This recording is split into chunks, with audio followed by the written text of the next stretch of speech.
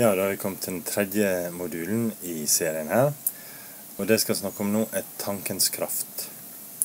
Jeg vil at dere skal tenke over hvor mye tankene våre kan gjøre.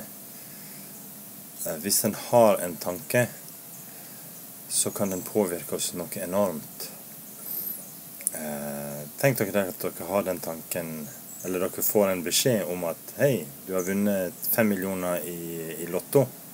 Så går du rundt og tenker på det, føler deg veldig bra, og så plutselig ringer de og sier nei, beklager, det var en feil. Det var bare 50 kroner likevel. Det har jo ikke skjedd noe i den ytre verden, men du har hatt en tanke om at du har vunnet 5 millioner, og så plutselig har den blitt forandra til en tanke om at du har vunnet 50. Ok. Følelsene blir veldig påvirka av det. Jeg har et godt eksempel på, på det motsatte. Eh, da jeg bodde i Mauritius, så eh, tjente jeg såpass lite at jeg eh, ble fritatt fra å betale studielån. Men så var jeg så, så, jeg så glømsk at jeg glemte ofte å, å be om utsettelse av betaling. Og så av og til så kom det da brev fra Lånekassen. Statens lånekasse for utdannelse. Og det er rart når det står Statens lånekasse. Så jeg leste ofte litt feil. Det ser ut som nesten det står Satans lånekasse for utdannelse. Well, anyway. En dag så kom det et sånt brev, og jeg hadde ikke lyst til å åpne det. Så det ble liggende ved siden av døra, på, på bordet ved siden av døra i flere dager. Og jeg fikk vondt i magen hver gang jeg så på det. Og til slutt så For jeg tenkte jo at det var, det var inkasso som kom. Internasjonal inkasso. For det har jeg fått en gang før, for jeg hadde glemt. Ah, så tenkte jeg ja, nå er dritt igjen av deg som, jeg som er så håpløs og ikke klarer å huske å betale disse tingene her. Sånn. Ah. Og til slutt så åpna jeg den, og så så jeg ah, Lånekassen informerer om at vi setter ned renten med 0,25% Ai, ai, ai. Det var jo dumt at jeg hadde gått og, og grua meg sånn for det i, i dagevis. Så jeg hadde hatt en tanke om at det brevet var noe negativt, og det hadde påvirka humøret mitt. Og så var det jo egentlig ikke noe negativt. Så hvis vi har negative tanker om ting, så påvirker det oss, selv om det ikke har noe med den ytre verden å gjøre. Og det er det som er det geniale i kognitiv terapi, det er den såkalte ABC-modellen, som vi kaller det. Det er A, noe som skjer i den ytre verden. Og så har vi tanker om det som skjer, B-en. Og så C, så får vi reaksjonen vår. Men C-en kommer som et resultat av B-en. Det kommer ikke som et resultat av A-en. Det kommer ikke som et resultat av det som skjer i den ytre verden. Det kommer som et resultat av tankene våre om den ytre verden. Som det eksempelet med Lånekassen viser veldig tydelig. Så det er veldig lurt å kunne ta tak i tankene sine og kunne ha kontroll over tankene. Tankene er så kraftige at det kan overgå våre absolutt sterkeste instinkt om å holde oss i live. Altså Folk kan sulte seg i hjel, sultestreike. Folk kan gå i døden i det militære, de kan gå i døden som terrorister. De kan gå i døden fordi de ikke vil, vil røpe hemmeligheter om, om, sine venner i krigssituasjoner f.eks.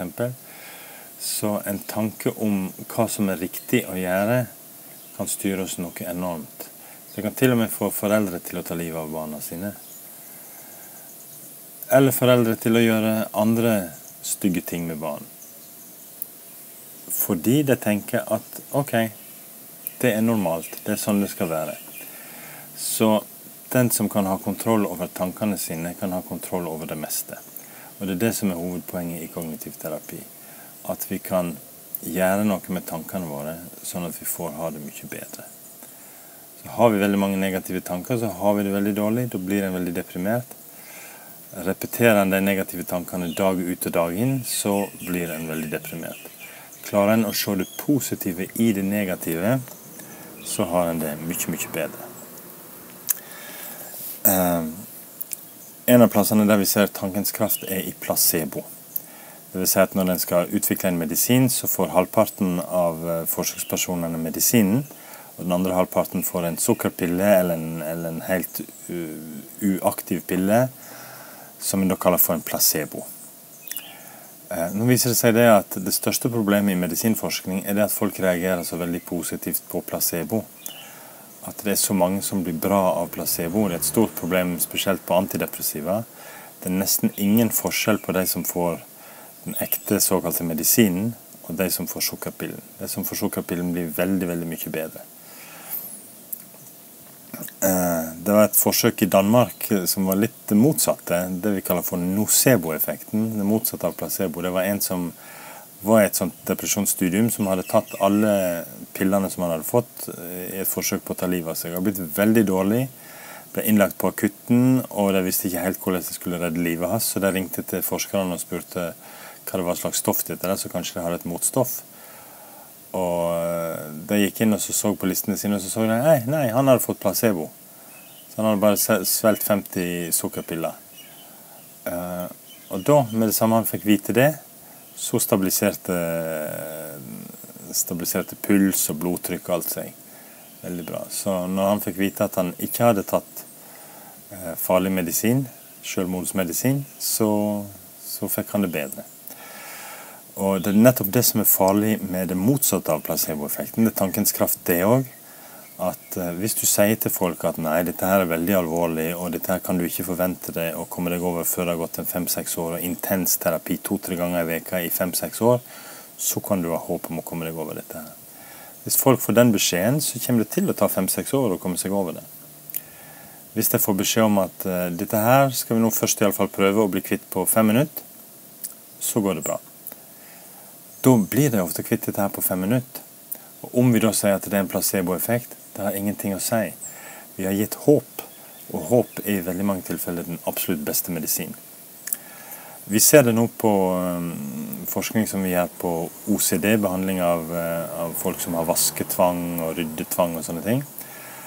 At vi klarer å gjøre det bra på omtrent to og en halv dag med behandling, bare vi gjør det intenst. Spesielt når de vet at mange andre har fått det til på to og en halv dag. Eller såkalte fire dagers behandling, men mye går med til planlegging. Så to og en halv dag aktiv behandling, så blir de bra. Så nå tror folk på det, og det blir bra på to og en halv dag. Ikke to og et halvt år, som mange tror. Det er mange som har gått med OCD i 25 år og aldri blitt bra. Nå kan det bli bra på to og en halv dag. Så tankens kraft er veldig sterk. Og Det er nettopp det vi gjør i kognitiv terapi. Vi tar tak i tankens kraft. Vi bruker mange teknikker som gjør noe med måten vi tenker rundt ting. Og en må faktisk bruke teknikker. En må ofte skrive ned ting. En må ofte ha erfaringer som gjør at vi forandrer tankene våre. Det er det vi gjør i eksponeringstrening. At folk ser det at det går veldig fint. Selv om en ikke har vaska hendene på tre døgn, f.eks.